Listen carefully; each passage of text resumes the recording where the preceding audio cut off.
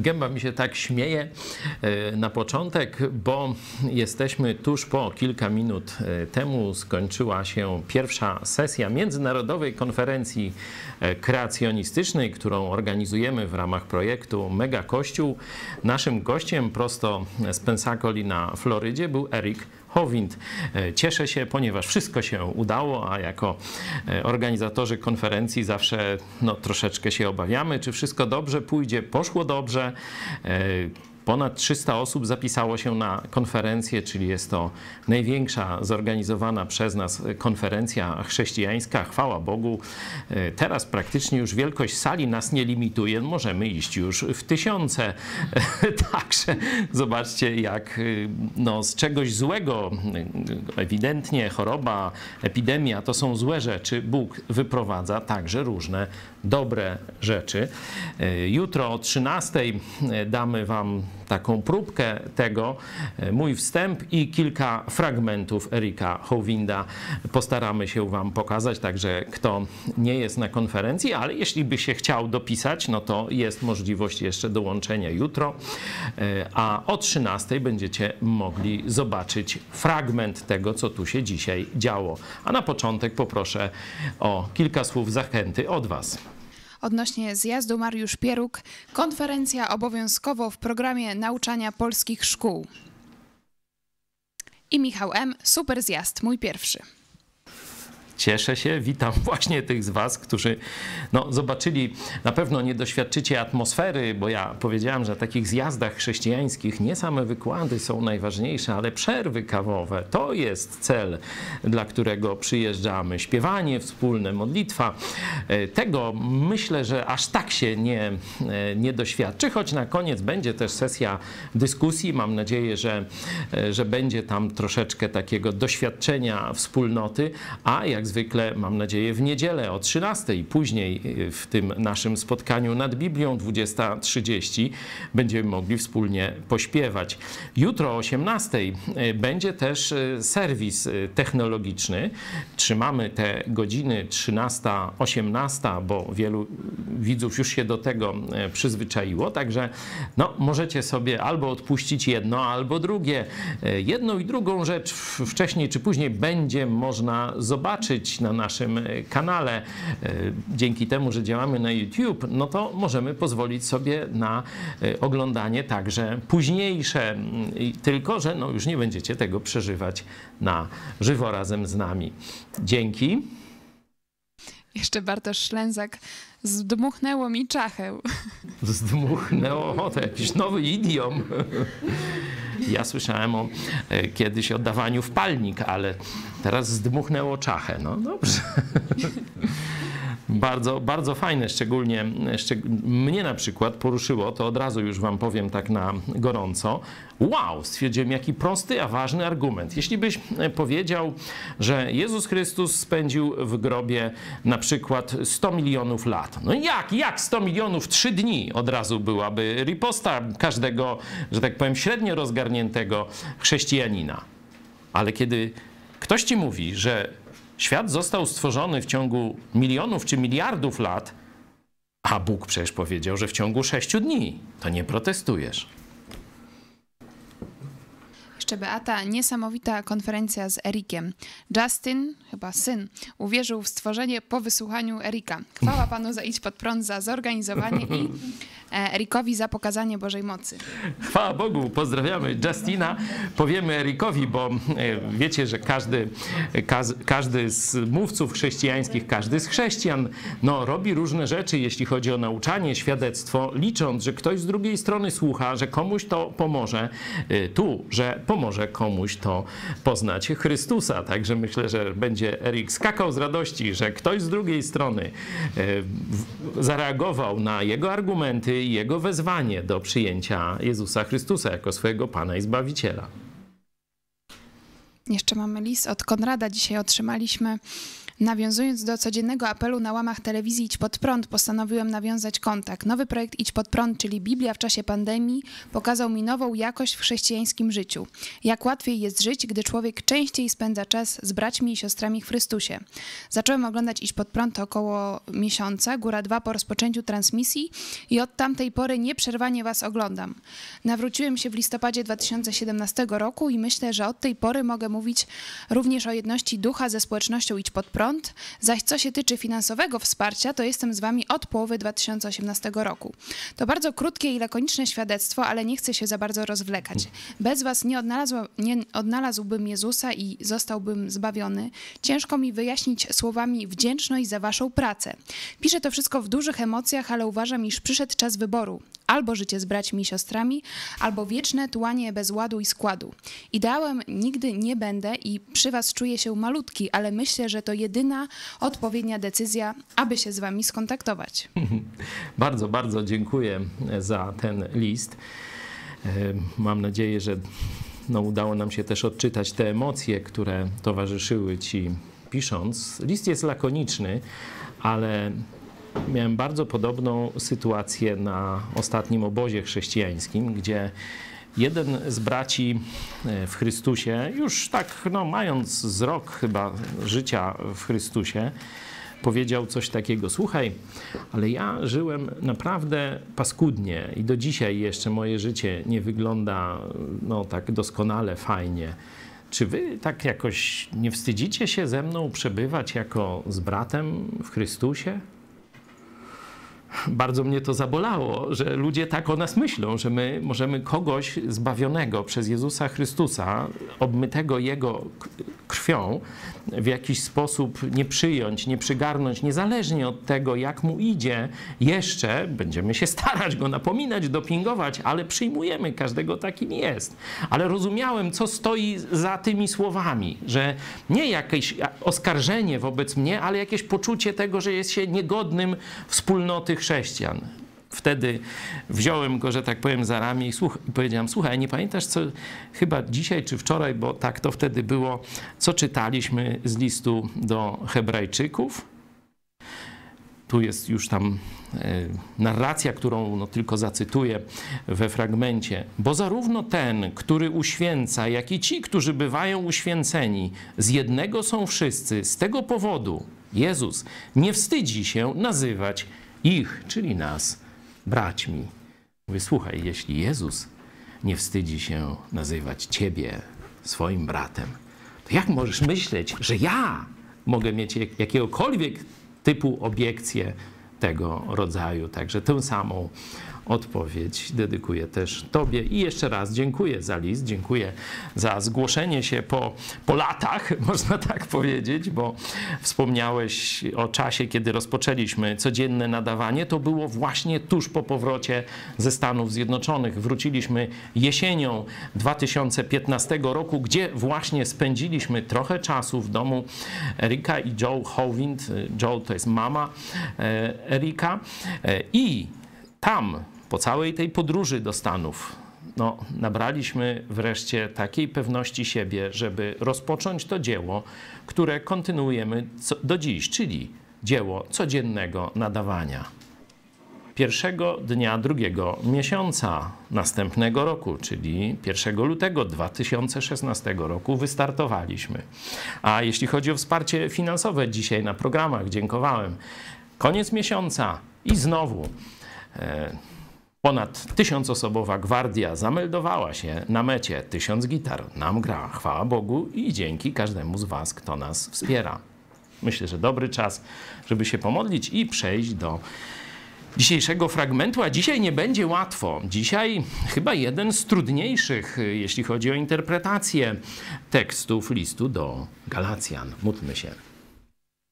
Kochany nasz Ojcze, dziękujemy Ci za to, że pobłogosławiłeś te nasze wysiłki w zorganizowaniu tej konferencji, choć byliśmy rozrzuceni po całym świecie, to dałeś takie zdobycze technologiczne, że mogliśmy być razem, mogliśmy razem słuchać Twojej prawdy na temat stworzenia. Dziękuję Ci za każdego uczestnika, dziękuję Ci za to, co się stało w naszych sercach i umysłach, że nasza wiara została zbudowana, dostaliśmy więcej argumentów, więcej pewności tego, że rzeczywiście niesiemy ludziom coś wspaniałego, głosząc im Twoje słowo. Dziękuję też za tych, którzy zostali poruszeni, a jeszcze Ciebie nie znają. Dziękujemy Ci też za tego młodego człowieka, który oddał swoje życie teraz Jezusowi. Prosimy Cię o wielkie błogosławieństwo dla Niego, o wsparcie od każdego z nas, byśmy otaczali Go modlitwą, dobrym przykładem. Prosimy Cię też o rodziców, żeby e, naprawdę mieli mądrość, jak kierować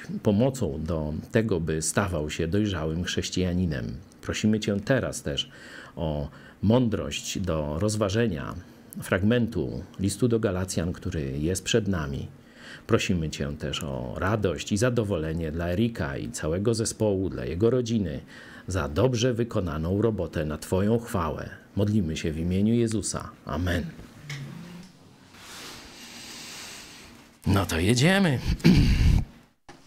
Apostoł Paweł zakończył takim, no, aktem strzelistym 5.1 Chrystus wyzwolił nas, abyśmy w tej wolności żyli. Stójcie więc niezachwianie i nie poddawajcie się znowu pod jarzmo niewoli. Poddanie pod jarzmo w niewoli, niewoli w tym momencie dla tych zbawionych już chrześcijan byłoby przejście na drugą stronę mocy, na przyjęcie zbawienia przez uczynki, na przyjęcie drogi usprawiedliwienia w oczach Boga przez zachowywanie uczynków prawa. I dlatego teraz apostoł Paweł przechodzi do takiej, można powiedzieć, no, najcięższej reprymendy to są, jeśli chodzi o Galacjan, o chrześcijan w kościołach Galacji, najcięższe słowa w tym liście. Będą jeszcze ciężkie słowa dla fałszywych nauczycieli, fałszywych pastorów, którzy podszywają się pod sługi Jezusa Chrystusa, zwodzą prostaczków, zwodzą młodych chrześcijan niedoświadczonych, ale dzisiaj przeczytamy najcięższe słowa pod adresem tych, którzy się dadzą zwieść. Oto ja, Paweł, powiadam wam, jeśli się dacie obrzezać, Chrystus wam nic nie pomoże. A oświadczam raz jeszcze każdemu człowiekowi, który daje się obrzezać, że powinien cały zakon wypełnić. Odłączyliście się od Chrystusa wy, którzy w zakonie szukacie usprawiedliwienia, wypadliście z łaski, albowiem my w duchu oczekujemy spełnienia się nadziei usprawiedliwienia z wiary. Bo w Chrystusie Jezusie ani obrzezanie, ani nieobrzezanie nic nie znaczy, lecz wiara, która jest czynna w miłości jak Bóg da, będziemy jeszcze kontynuować, bo apostoł Paweł nie e, prze, przerywa tego ochrzaniania e, Galacjan. Ja przerwałem, żebyśmy zrozumieli dobrze ten fragment, bo tak jak powiedziałem, jest dość trudny. Jeśli dacie się obrzezać, mówi do chrześcijan, to jest bardzo ważne. Chrystus wam nic nie pomoże. Jeszcze raz, mówi każdemu tu człowiekowi, rozumiemy każdemu chrześcijanowi, chrześcijaninowi, który daje się obrzezać, że powinien cały zakon wypełnić i do nich. Odłączyliście się od Chrystusa wy, którzy w zakonie szukacie usprawiedliwienia. Wypadliście z łaski. Te dwa wersety, czwarty i drugi, chyba są naj trudniejsze. Sprawdźmy najpierw, czy dobrze je rozumiemy. Czyli sprawdźmy albo w innych tłumaczeniach, albo e, w tekście greckim. Czy tu nie zostało coś skopane?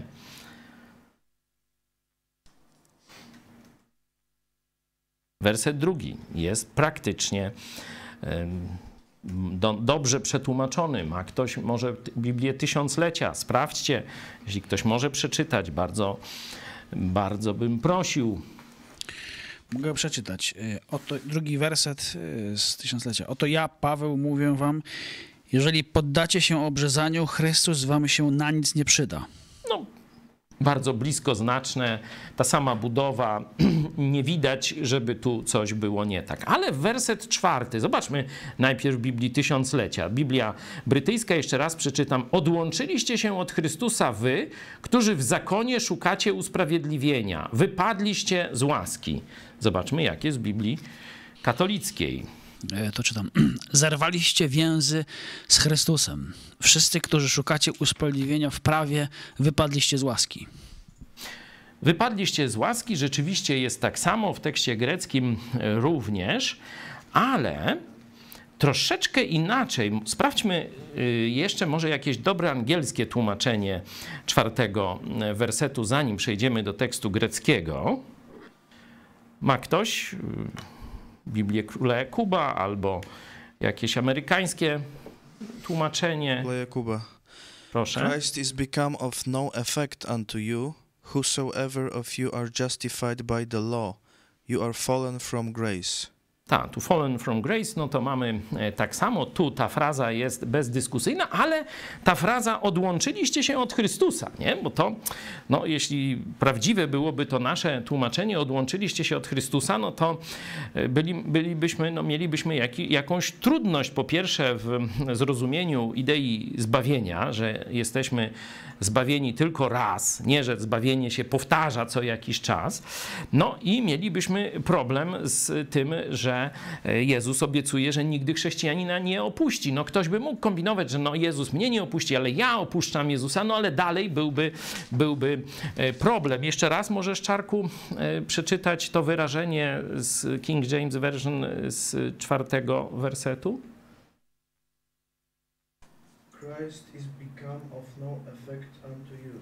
Czyli Chrystus nie Christ ma... is become of no effect unto you. Tak, Chrystus stał się bez żadnego wpływu na was, jak gdyby, nie? To tak dosłownie. Czy mamy jakieś bardziej współczesne, New American Standard na przykład?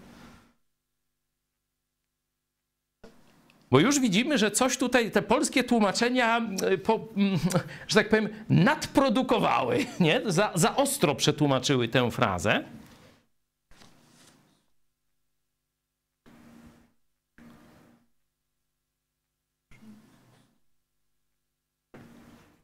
Jakie tłumaczenie teraz, Czarku?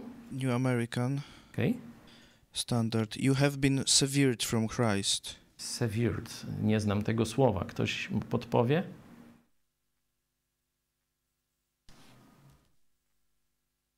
Teraz są słowniki, można szybko wklepać i już każdy mądry.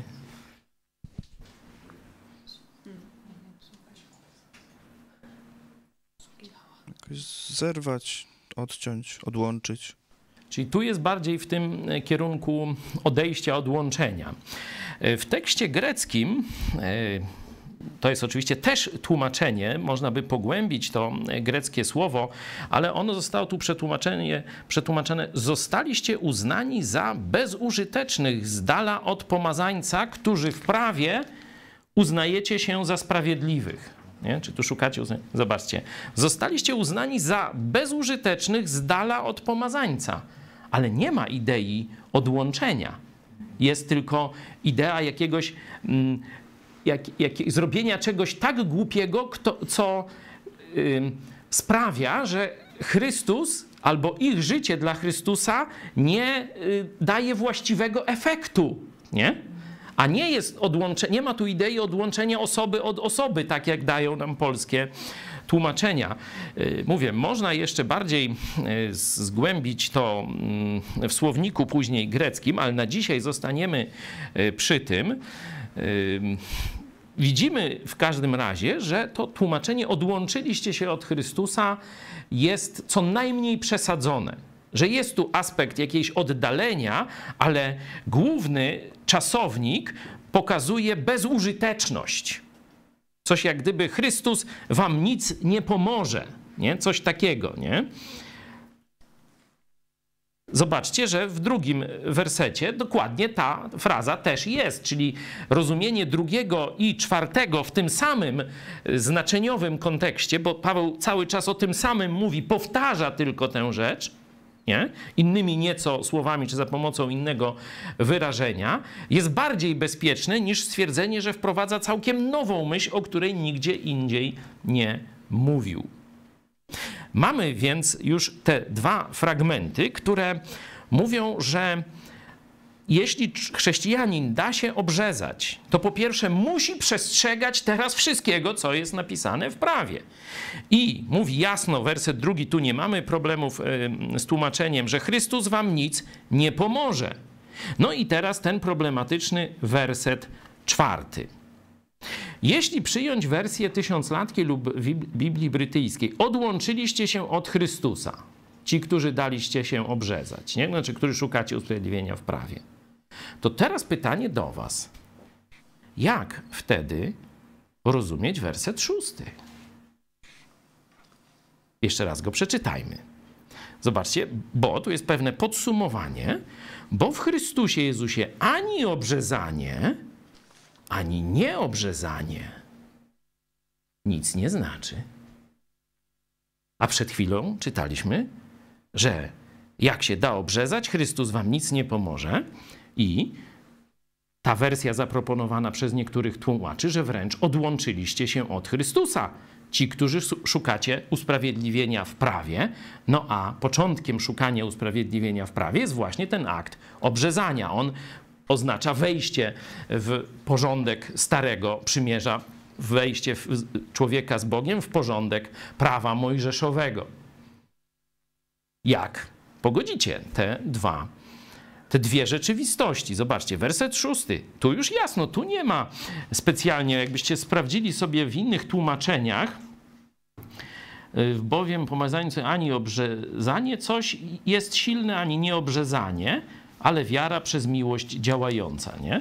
Czyli tu ze zrozumieniem wersetu szóstego y, nie ma problemu. Zresztą podobna myśl pojawia się w, w szóstym rozdziale, w piętnastym. Tu widzicie o takie, tym z was, którzy są pierwszy raz, czyli od niedawna w Biblii Brytyjskiej. Jeśli ją macie akurat, to są takimi małymi literkami, takie takie jakieś dziwne kody podane pod większością wersetów i tu akurat mamy gal.6,15. To znaczy list do Galacjan, czyli to miejsce, gdzie jesteśmy. Szósty rozdział, werset 15. To się nazywają te podpowiedzi, to są wersety paralelne, czyli dzięki nim łatwo możemy podobny temat w Biblii znaleźć w innych miejscach. No to skorzystajmy z tej podpowiedzi. Szósty rozdział, 15 werset, zobaczcie. Albowiem ani obrzezanie, ani nieobrzezanie nic nie znaczy, lecz nowe stworzenie. A on mówi do nowo stworzonych, do tych, którzy już uwierzyli w Chrystusa. Jak więc rozumieć w tym kontekście werset drugi i werset czwarty? Nie jest to łatwe pytanie. Nie rwijcie się z odpowiedzią. Raczej przemyślcie to sobie. To musi być odpowiedź, która będzie Was satysfakcjonować, nie mnie. E, także e, niech to, że tak powiem, krąży. Z jednej strony mamy, że jeśli chodzi o więź z Bogiem, decydujące jest nowe stworzenie, ani obrzezanie, ani, obrzez ani nieobrzezanie nic nie znaczy, tylko nowe stworzenie. Nie? Prosta prawda. Z drugiej mamy, że jeśli się dacie obrzezać, Chrystus wam nic nie pomoże. I dalej, czwarty, staliście się bezużyteczni z dala od Chrystusa, wy, którzy w zakonie szukacie usprawiedliwienia, wypadliście z łaski. Jak to pogodzić? Jeśli byśmy przyjęli, że werset czwarty czy, czy drugi oznacza, że ci ludzie przestali być zbawieni, Chrystus wam nic nie pomoże do zbawienia, można tak powiedzieć, nie? No to zanegowalibyśmy ten werset 6:15, gdzie e, o zbawieniu nie decyduje ani obrzezanie, ani nieobrzezanie, tylko nowe stworzenie. Nie?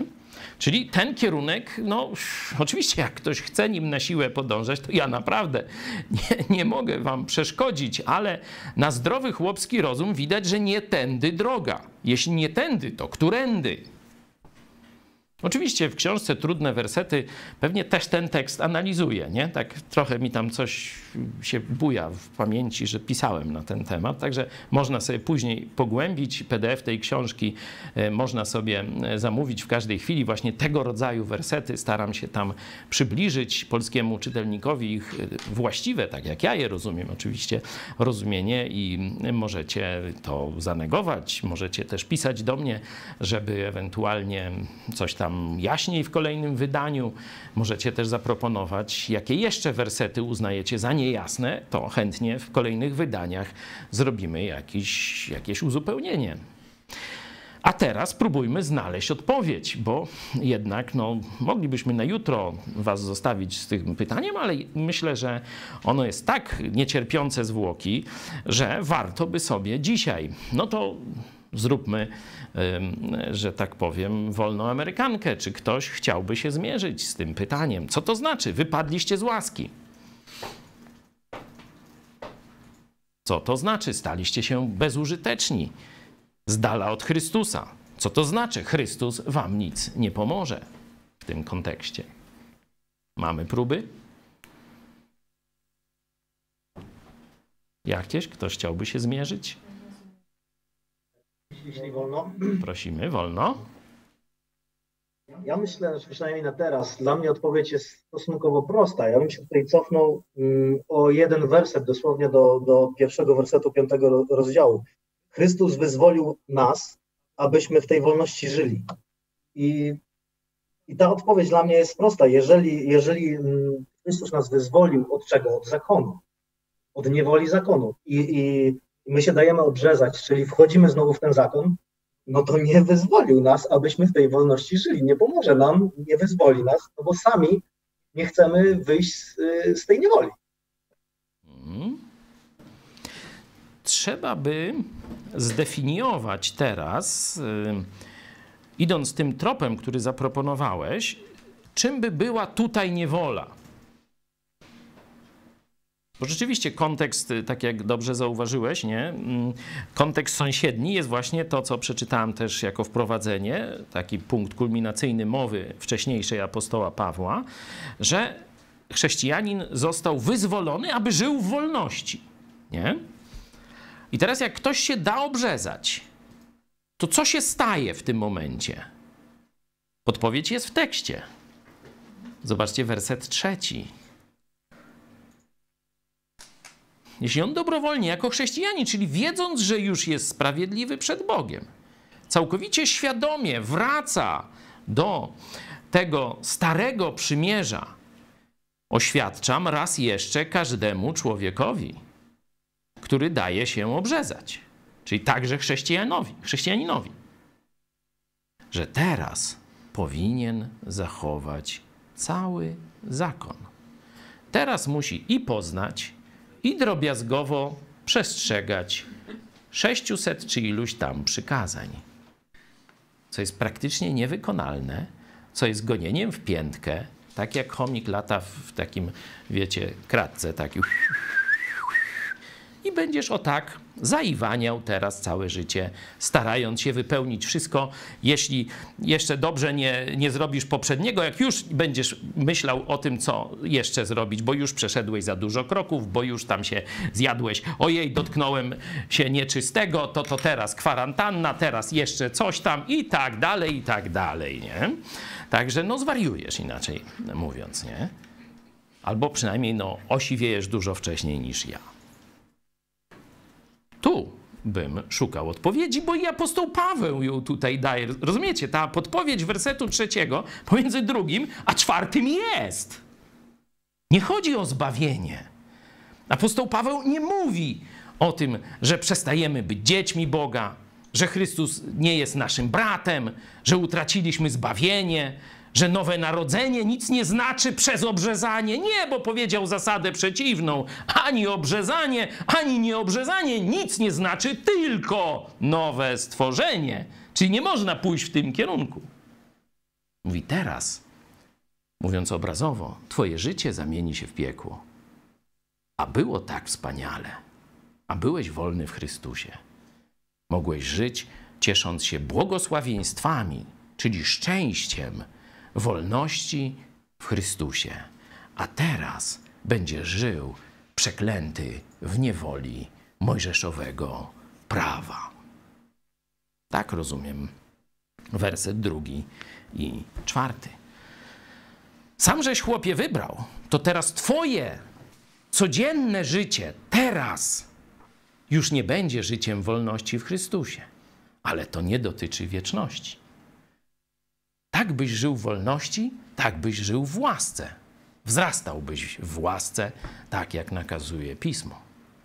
A teraz będziesz musiał studiować Torę, będziesz musiał uważać, patrzeć, czy ta kiełbasa jest z wołowiny, czy też z domieszką wieprzowiny. Już wieprzowinę zjadłem, już teraz będę musiał leżeć krzyżem pięć dni gdzieś tam w synagodze czy gdzieś, no nie wiem, no. To jest twój problem, nie mój. Ty sobie dałeś obciąć, nie ja. No to już teraz, że tak powiem, że tak powiem, masz babo placek. No tak, apostoł Paweł ich ostrzega. Mówi, to nie jest zabawa, to co ci fałszywi nauczyciele chcą ci zrobić. Bo to jest Boże, Boży, Boże przymierze. To przez obrzezanie, e, wejście w przymierze z Bogiem, to, które Mojżesz przyniósł, czyli dane nam, ludziom, przez pośrednika, przez Mojżesza. Nie? To nie jest zabawa. To jest poważna sprawa. Deklarujesz teraz, że całe życie będziesz wypełniał wszystko co do joty. A to są poganie, ludzie nieobrzezani.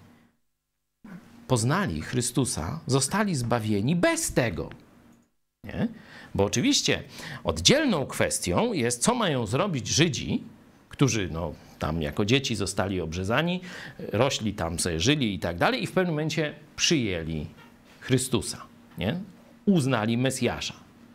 No widać, że apostoł Paweł nie stosował się do prawa, bo co? Bo jadł z poganami, tośmy czytali o tu, w drugim rozdziale.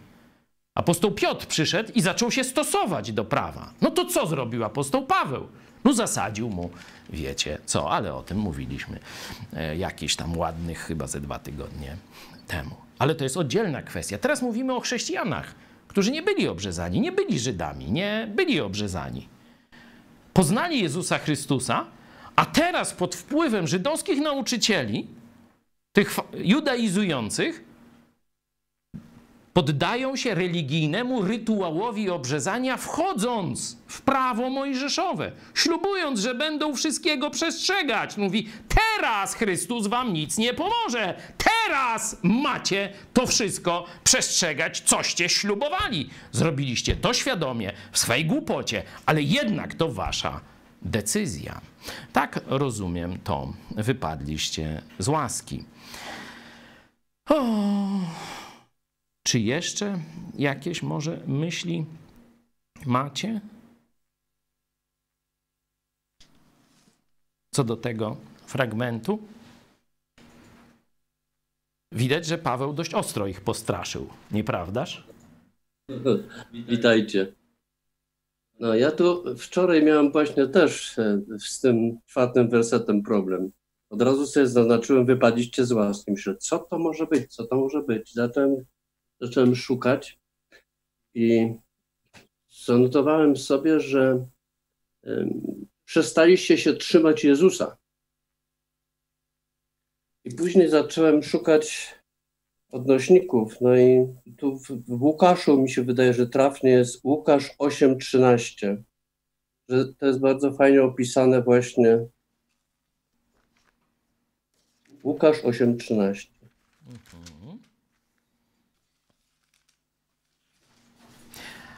A tymi, którzy, a tymi na opoce są ci, którzy gdy usłyszą, z radością przyjmują słowo, ale korzenia nie mają, do czasu wierzą, a w chwili pokusy odstępują.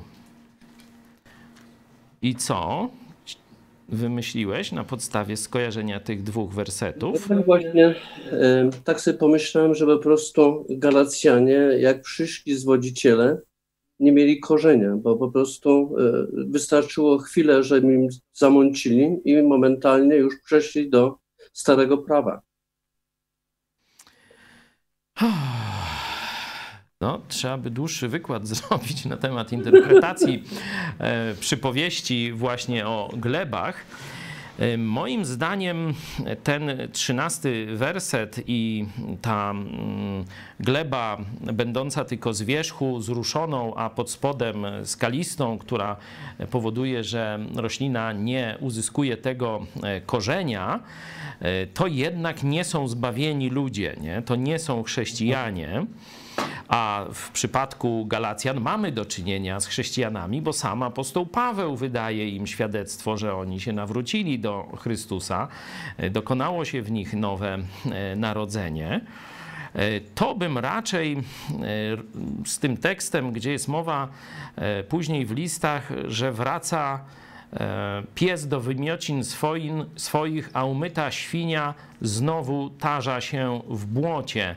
E, czyli zmiana, ale bez e, zmiany istoty, bez zmiany natury, czyli bez nowego narodzenia. Dlatego no, w mojej opinii tych dwóch y, fragmentów, czyli tego 5, 2, 4 z listu do Galacjan i y, tamtego y, bym nie łączył, nie, nie, nie da się tych, tych dwóch no fragmentów i potem, połączyć. I potem miałem ten sam właśnie problem. I potem poszłem w, Hebra w Hebrajczyków, szósty rozdział, werset czwarty do 6. Myślę, może tu. Hebrajczyków 6, 4 do 6. No dobrze, no możemy popodróżować. Czemu nie? Hebrajczyków 6. 4, 6. 6, 4, 6. Jest bowiem rzeczą niemożliwą, żeby tych, którzy raz zostali oświeceni i zakosztowali daru niebiańskiego i stali się uczestnikami Ducha Świętego i zakosztowali Słowa Bożego, że jest dobre oraz cudownych mocy wieku przyszłego, gdy odpadli, powtórnie odnowić i przywieźć do pokuty, ponieważ oni sami ponownie krzyżują Syna Bożego i wystawiają go na urągowisko. I tą pokutę zamieniliśmy, bo szukaliśmy w greckim tłumaczeniu, to znaczy o pokutę opamiętać się. Nie, tak, odwrócić.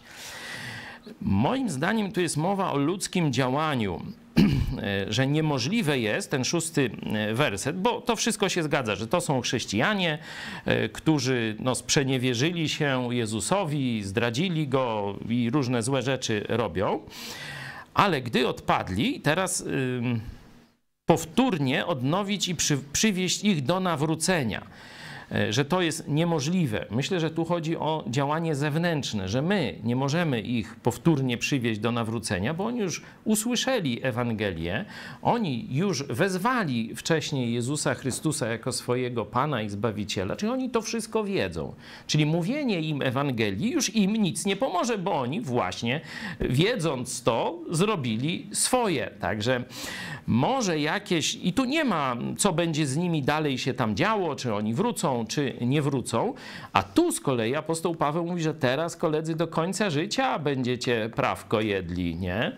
Tu już się nic nie zmieni, daliście se uciąć, to się już nie przyklei i teraz będziecie tego konsekwencje, że tak powiem, spożywać do końca życia tu na ziemi. Także też tych dwóch fragmentów bym nie łączył.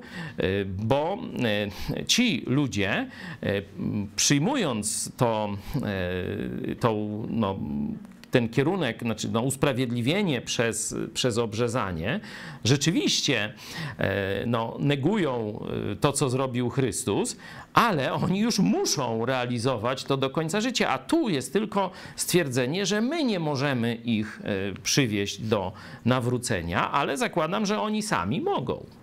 Dlatego też myślę, że nie są to e, fragmenty, które mówią o tej samej rzeczywistości. Ale no, dzięki, że próbowałeś. No.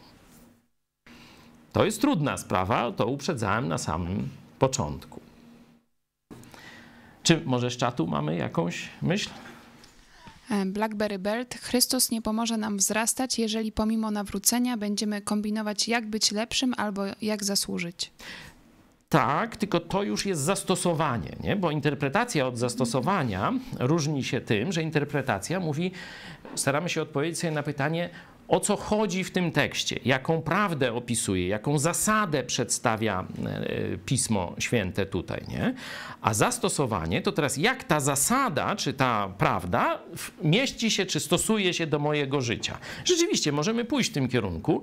No, mm, mam nadzieję, że to nie jest przypadek kogoś z nas, jakiegoś chrześcijanina, że się obrzezał i, i chciał no, się e, poddać prawu żydowskiemu, a zastosowanie to rzeczywiście jest takie, jak powiedziałeś, że powinniśmy uważać, by mentalnie e, nie zaczynać myśleć o relacji z Bogiem jako jak, Bóg, jak Kuba Bogu, tak Bóg Kubie, że będziemy starać się zasługiwać na przychylność czy miłość Boga. Owszem, to co robimy wpływa na błogosławieństwo, czyli przez swoją głupotę możemy tracić część ziemskiego, nie duchowego błogosławieństwa, nie? E, czy przez posłuszeństwo zyskujemy tu na ziemi błogosławieństwo w różnych, czyli nasze działania powodzą, znaczy dostają powodzenie od Boga, czy no wydają owoc, o tak, e, powodzą się, bo to będzie źle, nie?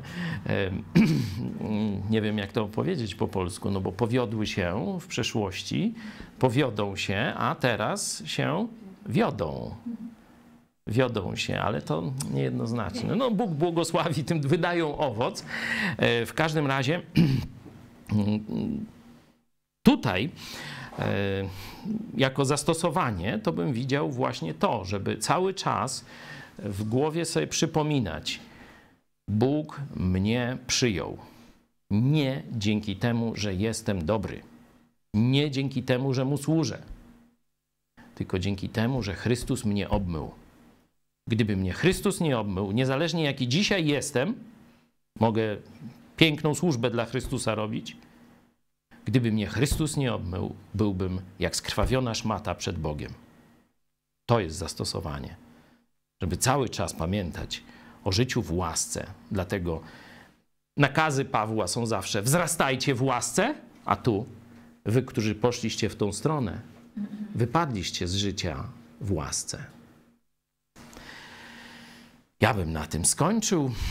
Jutro, czekajcie, jutro nie, jutro jest, y, będzie co innego. W sobotę mam nadzieję, że spotkamy się znowu nad tym fragmentem i pójdziemy od siódmego wersetu dalej. Biegliście dobrze Czyli to jest jeszcze jedno pochwalenie, że to rzeczywiście byli chrześcijanie. Apostoł Paweł im daje zapewnienie, że ich życie z Chrystusem rozpoczęło się wspaniale, początek mieli wspaniały, a teraz zaczęli słuchać fałszywych nauczycieli opowiadających im kucypały o usprawiedliwieniu, o zbawieniu i o uczynkach rzekomo koniecznych do zbawienia.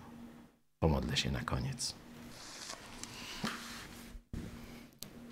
Panie Jezu, dziękujemy Ci za Twoją śmierć na krzyżu.